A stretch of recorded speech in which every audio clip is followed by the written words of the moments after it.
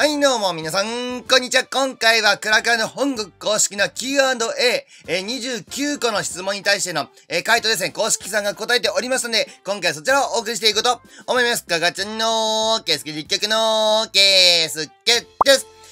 ポーということで、久しぶりですかね、Q&A 動画。はい、お送りしていこうと思います。海外の掲示板、レディットの方でね、あの、公開されておりまして、で、えっと、ウェブページ自動翻訳で、はい、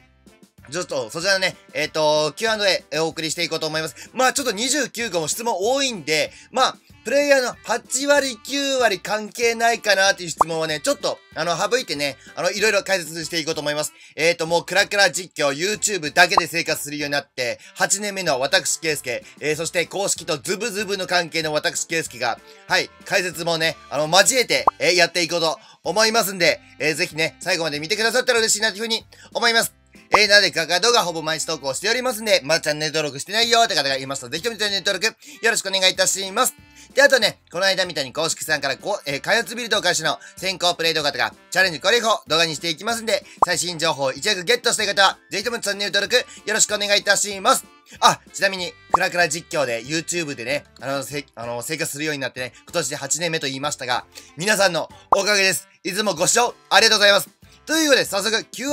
お送りしていきましょうレッツゴー課金される際は、右下の歯車マークから詳細設定、クリエイターを支援で、クリエイターコード、ケイスケの入力をよろしくお願いいたします。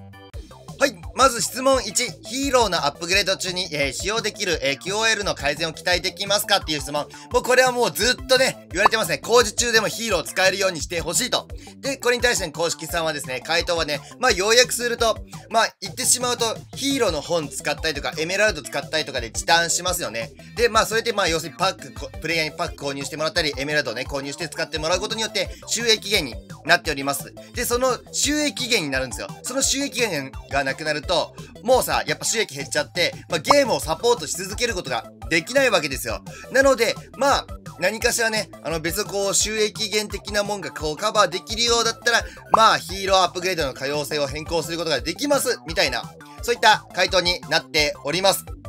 次の質問。えっ、ー、と、大工の拠点のクラン対戦はどうですか？えっ、ー、と、自分の村と、えー、クランの都にはある種のクランレベルのエンゲージメントがあります。ビルダーベースに似たようなものを見ることができますかっていう質問ですね。え、最終的にビルダーベース、え、大工の拠点にソーシャルまたはクランレベルの機能を追加するといいでしょう。まあ、クランの特典みたいなのが追加される可能性があるってことですかね。で、ただね、2024年、今年はもう自分の村の年で、もう自分の村に注力していくと、はい、明言いたしました。はい、えーと、もうね、えー、去年とか、一昨年とかもうほんとクランの都とか大工の拠点のアップデートばっかりだったんで、えー、いい加減今年はね、自分の村に力入れようっていう、公式さんのね、あのー、こうなんか意気込みが見えました。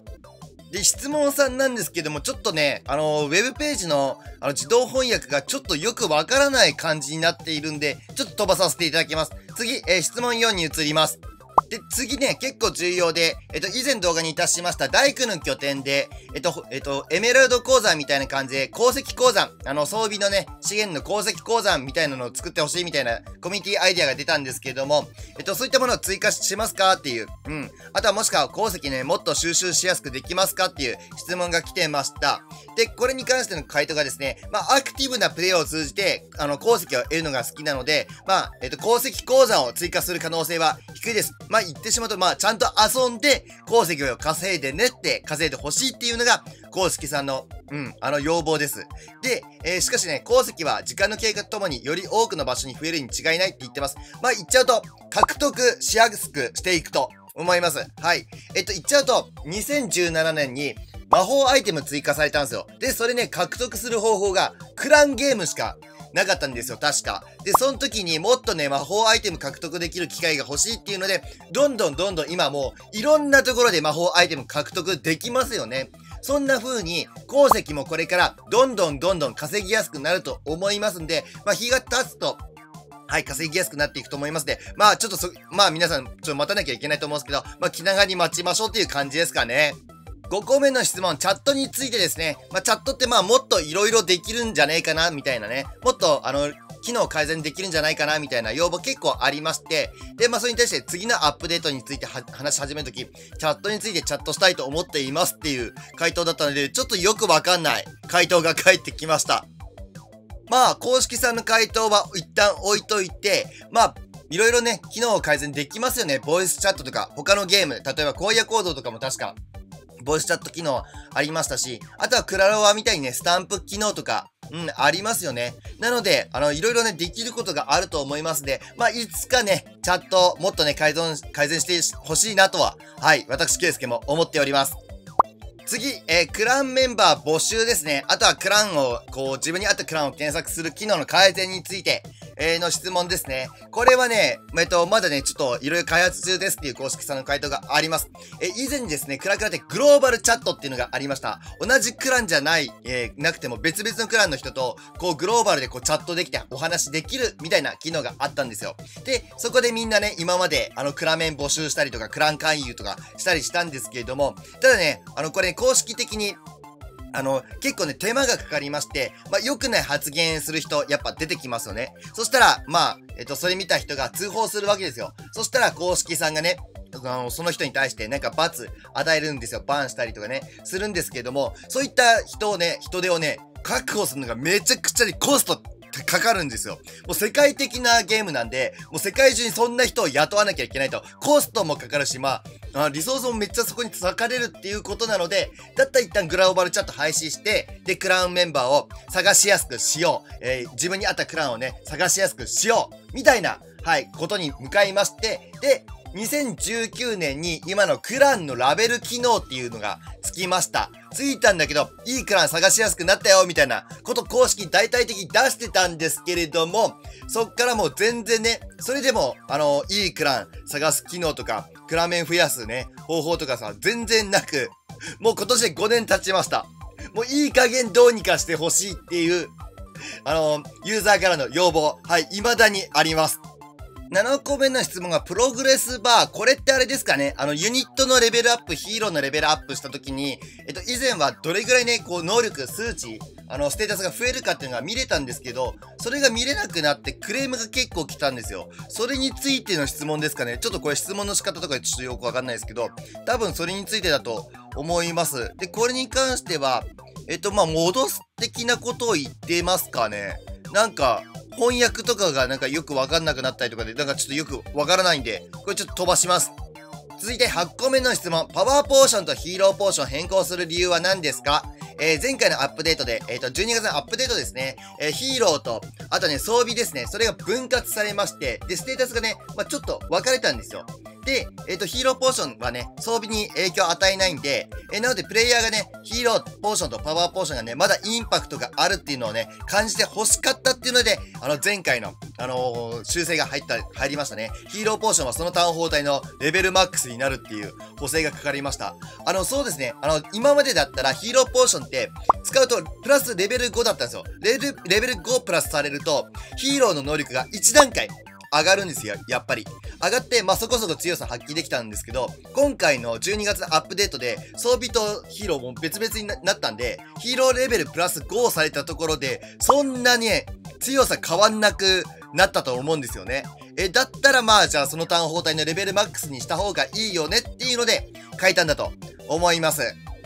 9個目の質問行きましょう。私たちの多くはアップグレード時間の増加がプレイを続けることを思い、えー、イライラしていると感じています。えっ、ー、と、アップグレードが終了するのを待つのではなく、プレイヤーがプレイを続けられるように、インセティブを与える計画はありますか？まあ、要約すると、アップグレード時間クソ投げっていうことですね。で、えー、それに対しての公式さんの回答は、まあ、16をリリースしたとき、最大アップグレード時間をね、短縮して、まあ、ゲーム全体でアップグレード時間をね、大幅に短縮いたしました。もうこれね、新しいタウンホールレベルが出るたびに、あの、どんどんどんどんね、他のタウンホール帯のね、アップグレード時間短くなります。うん。なんですけど、えっと、まあ、全体的な長さは、あの、こう、保つように、うん、していくみたいです。で、その代わり、新しいイベントとかね、あの、今のやってるドラゴンフェスティバルとか、そういったイベントとかで飽きさせないように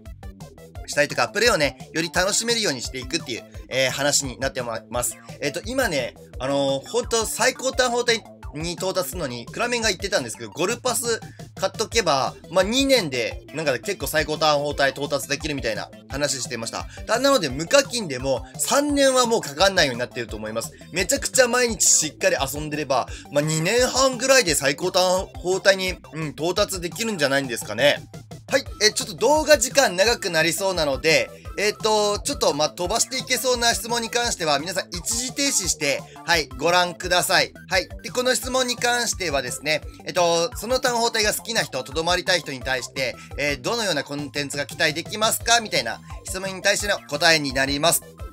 さあ、今回の質問の目玉だと思っています。新しい単法体の更新スケジュールは約18ヶ月ではなく12ヶ月になりましたかっていう質問です。今までは1年半周期ぐらいを目安に出してたんですけども、これに対して公式さん、はい、新しい単法レベルは約12ヶ月のサイクルになります。なんと1年に1ヶ月、あ新単ホール更新されていきます。スケジュールとして1年半というサイクルに特に強い理由はありませんでした。えー、12ヶ月に移行すると、タウンホールはね、過去ほど長く続く必要がないため、アップグレード時間、えー、かっこ質問中を参照を、えー、短縮するのに役立ちます。まあ、言ってしまうと、どんどんどんどんね、あの、後期やっぱり短くなります。新しい単法体が出るたんびに。はい。また、はるかに大きな開発チームがあり、新しい単ホールデザインのための、新しい楽しいアイデアを思いつくことができました。毎年予測あの、えー、可能な時期に新しいタウンホールを待つことで、え持つことで、プレイヤーにとってより一貫した体験が生まれることを願っています。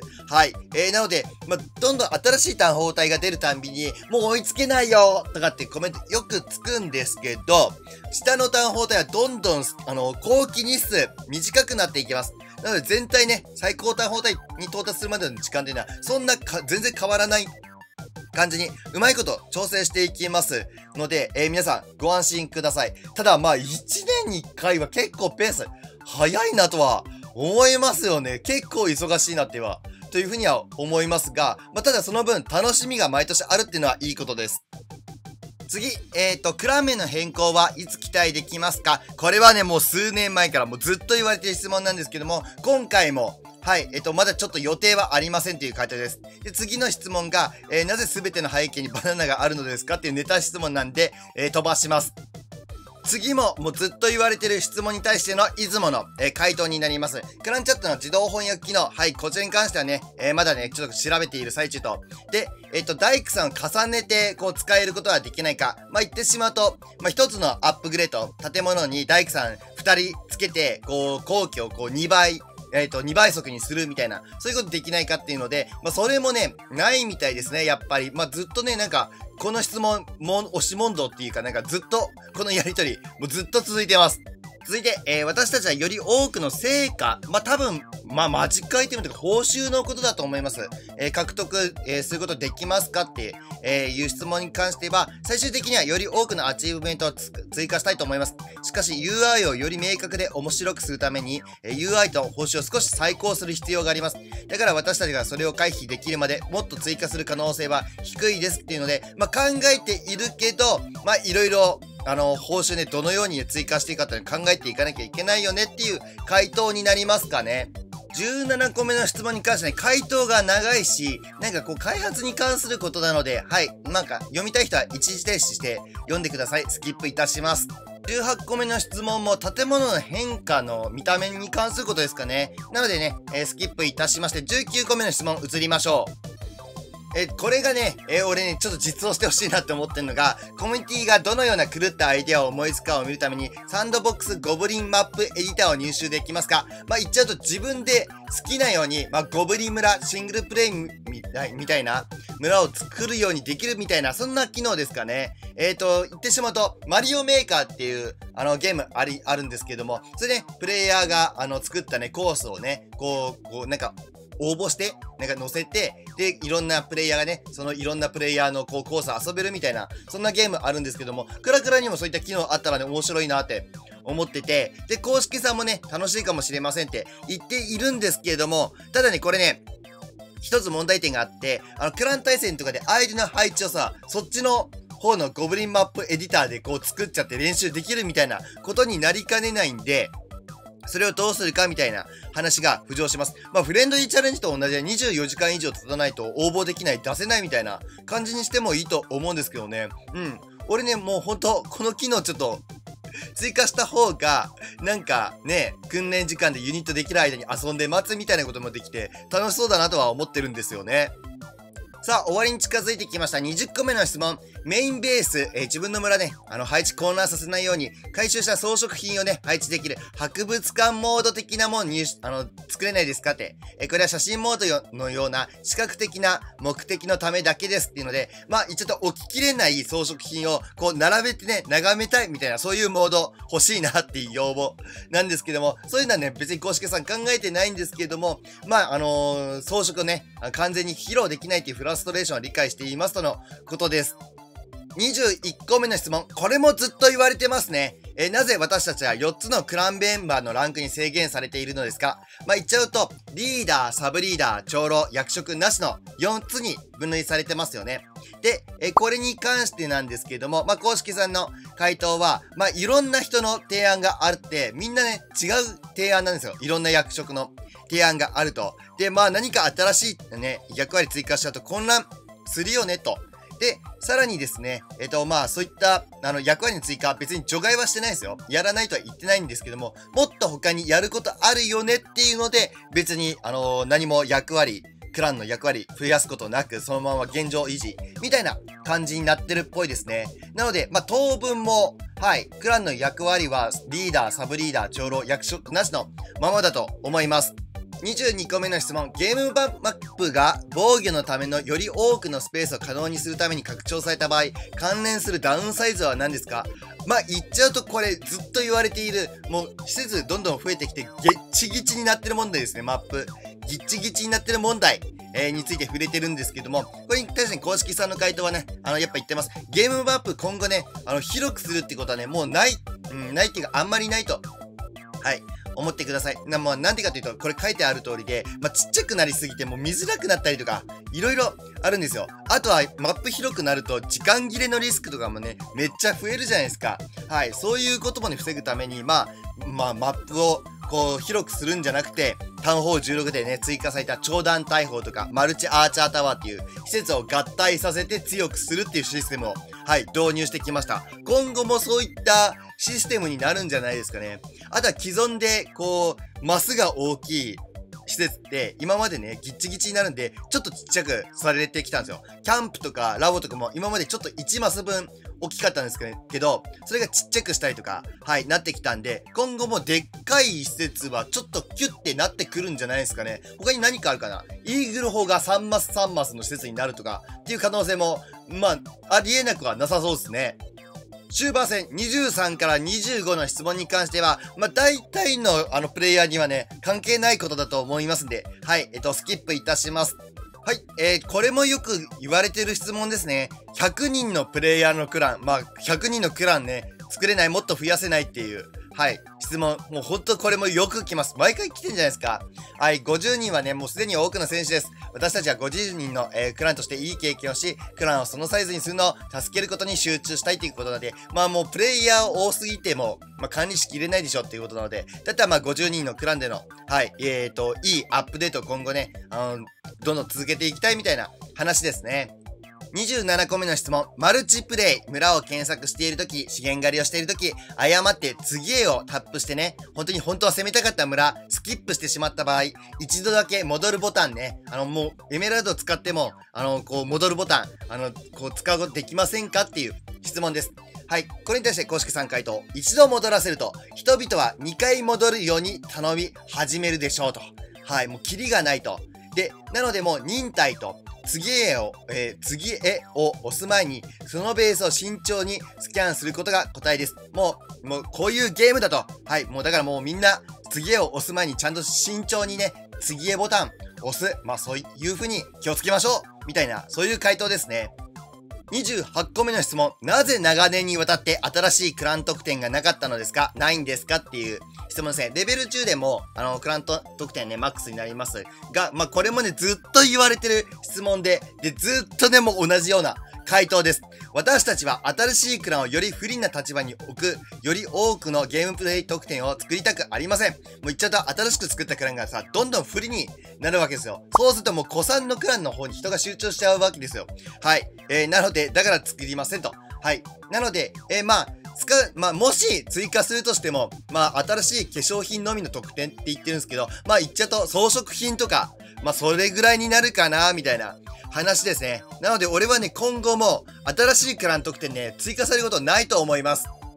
そしてラスト、これも目玉です。5番目のヒーローを追加するための実行可能な提案された解決策はありますか？まあ要するに5人目のヒーローを追加いたしますかっていう、はい、質問ですかね。将来的にはさらにヒーローを追加する予定ですが、はい、予定あるらしいですよ。ただ、攻撃ごとに4人以上のヒーローを使用できる可能性は低いです。それはもう攻撃側が強すぎるので、おそらく一度に4人のヒーローしか選択できないシステムを実装するでしょう。そのシステムがどのように機能するかは、まだ開発の初期段階にありますっていうことです。まあ、これもね、少し前の Q&A 動画でも、あのー、言ってたんですけど、ヒーローも5人以上とかなるともう攻めがさ、忙しいことになっちゃうと。だからまあ4人ぐらいで、まあ、当分はそんな考えてないかな、みたいなことを言ってたんですよ、公式さんが。なんですけど、5人目以降ね、一応予定してるみたいな考えてはいるっていう答えがね、出てきましたね。はい。なんですけど、まあ選択制にするみたいです。まあ今で言うペットとか装備とかもさ、選択制じゃないですか。あんな感じになるかもしれませんね。ケイスケ実況局では、ただいまクランメンバーを募集しております。詳細は概要欄に貼ってあるクランメンバー募集の動画をご覧ください。はい。ということで、今回はね、2月の、えー、クラクラ本軍公式の Q&A 動画ですね。えー、そちらね、公式さん回答、いろいろ見ていきました。いやー、本当に、新しい単包体、1年周期になるっていうのに、驚きましたね。えー、なんですけども、まあ、だんだんね、アップグレードはね、ちゃんと短くしてって、今と変わらないように、うん、えー、の、していくみたいな、そんな話も出てましたんで、まあ、えー、もう一、えー、だからもう次、12月にまた出るんでしょ？新ターホール。どうなんでしょう？ペース早いな。まあ、ペース早いんですけど、ただまあ、新しい単包体村育てるゲームなんで、自分個人的にはね、新しい単包体出てきたらテンションめっちゃ上がるんで嬉しいなっていう風に思ってます。あのー、一回ね、あのー、去年とか、あとは一昨年とか自分の村のアップデートめっちゃなくて、ほんとフルカンストしちゃって、やることマジでなくなって、ほんとね、モチベちょっと下がったんですよ。なのでやっぱそういう、それぐらいね、こうなんか新しいコンテンツ追加されるのはね、個人的にはめちゃくちゃ嬉しいです。はい。ということで、コミックアカードがほぼ毎日投稿しておりますんで、まあ、チャンネル登録してないよって方がいましたら、ぜひともチャンネル登録よろしくお願いいたします。で、この動画面白かったためになったなって思ったらグッドボタンやコメント、友人やクラメにシェアの方よろしくお願いいたします。はい。ということで、それでは次の動画でお会いしましょう。バイバイ